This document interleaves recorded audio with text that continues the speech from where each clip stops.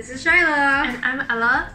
So today, as we promised, we're gonna talk about courses. To just make this video a little bit less boring for you guys, we're gonna use a format where we will assign um, awards for each classes.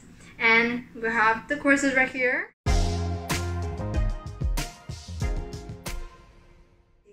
You guys can mix and match and try to see what you think the course fits best. And we'll get going. The first course that we want to talk about is Fiji.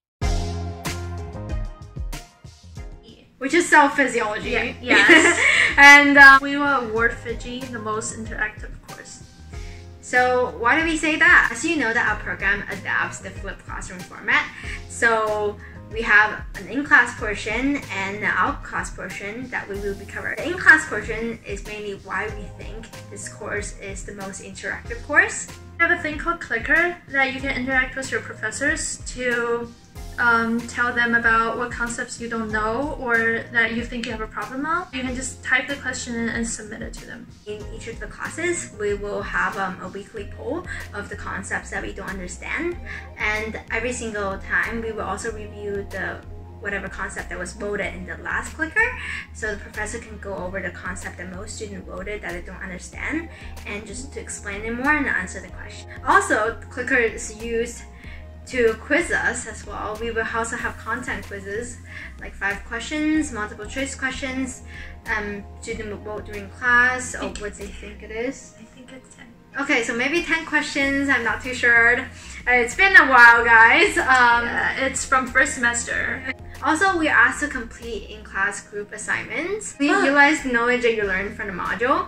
And um, there's also an open-ended question as well, which you gotta apply your critical thinking skills right here. Usually it's a little bit harder, but it's very interesting. And you also gotta look online for the sources as well because answers are not in your modules. yep. And since we've done all these stuff in class, there's not many assignments outside class. The one big project is disease presentation, where you're assigned randomly to a disease and you have to make a PowerPoint on it and you have to do voiceover too. You have to do a lot of research and I got assigned to cystic fibrosis, which is an interesting topic that everybody, a, a lot of people know, but some people don't have deep knowledge about it but it's very common. So I think it's very interesting. Yeah, and um, also another thing is that those diseases are not just normal diseases. You also have to use the cell physiology knowledge that you learned in class, applying to um, understanding those diseases. So, so that's uh, where the knowledge portion of the presentation comes from. And um, also, our courses in general all evaluate peer assessment a lot. Um, so in Fiji, for example, we uses this um, peer assessment platform called Europa, where I think we were asked about three or four times uh, over the course to uh, give our peers comments and um, on something that they can improve, and just like general comments and just um, encourage us to grow. Yeah. So the second word, dun dun dun, is pharmacology It's the most memorization and most educational course. So why do we say that? Because it talks about drugs and you need to take drugs. Like some people take drugs every day, like vitamins are kind of drug. And we didn't know that we made so many mistakes before taking pharmacology.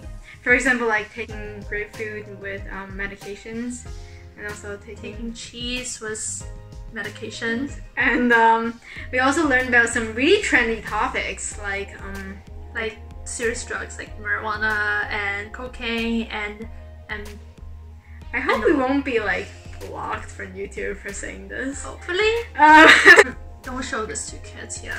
Anyways, so let's talk about the assignments. So we have two assignments in the course. One is the clinical trial poster or the drug development poster, and the second one is the herbal report. The clinical trial is about what a drug is like from conceiving the idea of developing a drug to the drug going to the market. And we have to know all the aspects of the clinical trial and the parts of the clinical trial, and we have to make a poster about it.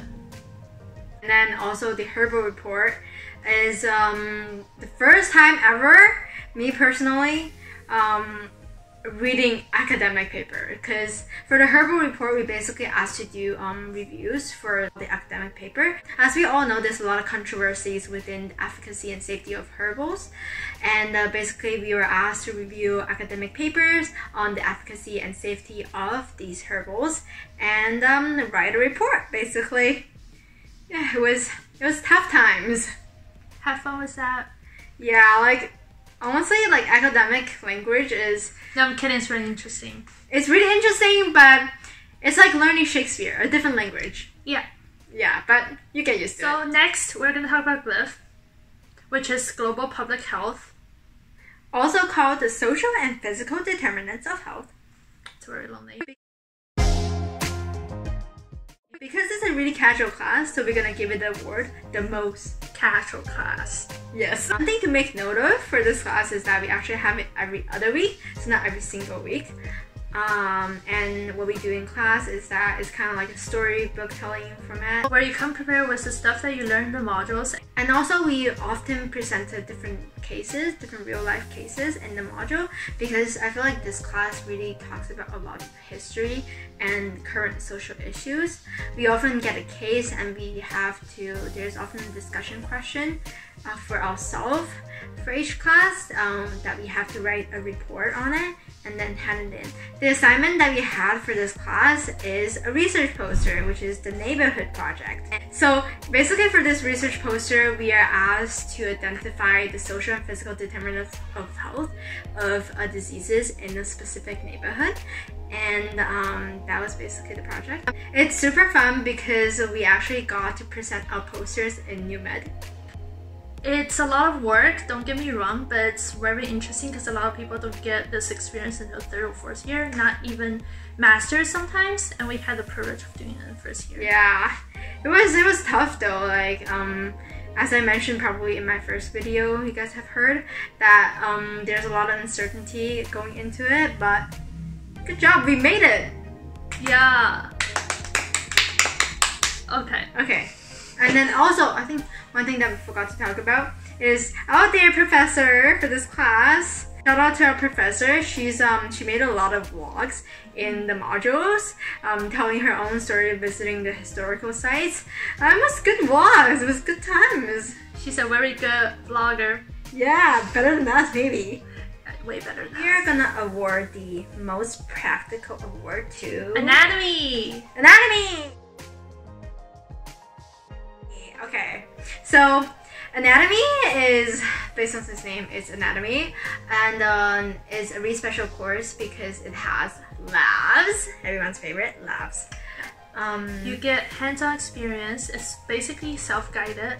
You get to go into anatomy labs, and you actually get to touch cadavers with gloves. So no worries. Um, and all the TAs are there. Head TAs there to explain stuff. People usually gather around. We love the head so much. And then there's also the anatomy museum where there's specimens. Um, usually in the lab sessions, we are asked to complete a lab report which has the guiding questions and also the numbers for the specimen that we should take a look at. It's just for yourself. It's not graded or anything. It's a review sheet. hmm Yeah. There were actually many assignments. We had the Jeopardy assignment where um, people are divided into group and then create their own Jeopardy question and kind of having like a Jeopardy battle to each other. Yep, and we ran it to class and we play against groups. Um, and then we also had the figuring out what disease your patient had. Maybe like That's a case study. yeah, maybe like a fake doctor assignment. Yeah, and we have to give detailed treatment plans. Yes. Our third assignment is a presentation where we have to discuss a specific anatomical aspect of the body and the human system. And uh, it's also one that's similar to the disease presentation in um, Fiji. You have to apply your knowledge from the module and do a voice cover to the PowerPoint. So, as we talked about, there's a lot of exams and tests. There's bell ringers, which is for midterm and finals. It's basically the bell rings every minute, and there's 40 tables set up in a room, and identify the specimen and also the function. Also, there's the block theory exam, um, which is basically we are asked knowledge question for the module. We're gonna give the most modern word to, BMed. which is short for History and Philosophy of Health and Healthcare. Yep. Um, so so for BMed, I think we think that it's a really creative course. Because all you do is write blogs. Yeah, vlogs is like a really big part of this um entire course. Instead of having to write essays like most of the other courses that you expect, you also write blogs. You can include all the pictures you want, videos, and then where you just share your opinions. It's like an argumentative essay. And during the in-class discussion, you also get to share opinions with your peers. A lot of this course is also discussing critical issues that happened in the past and right now, and in different field of health and healthcare. Um, so really helped us build some critical thinking skills. We also use the discussion board on Elantra a lot. Um, so basically, we have online discussion with our peers regarding a specific topic. So that was fun. And we do peer reviews. You score your peers and Write some comments for them. Um, and also, you get to evaluate yourself. So for a statistic, we're gonna give it the most technical award. So why do we say that? it's because we learn about a lot of software stuff in this course. Like what? We had labs where we used computer software to conduct statistical tests. What else? So this entire course is basically about statistical testing.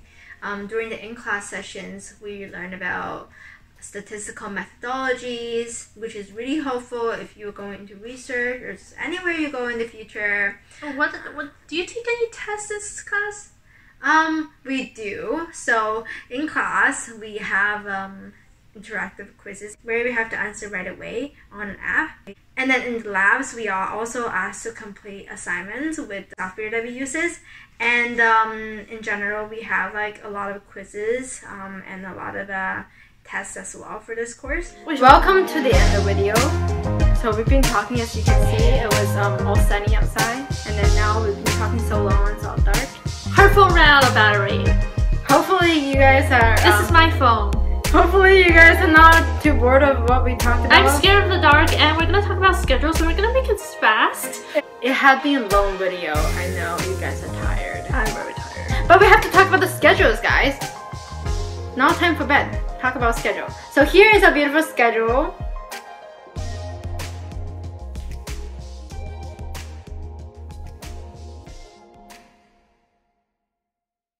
Um, so you can see there are some back-to-back classes where people usually go and grab a coffee, donuts, um, um, food, uh, lunch, dinner, all sort of stuff. So There's a four-hour class. It's, don't worry, it's just two two-hour class Wednesday afternoon, and people usually go to the Tim Hortons for coffee and food.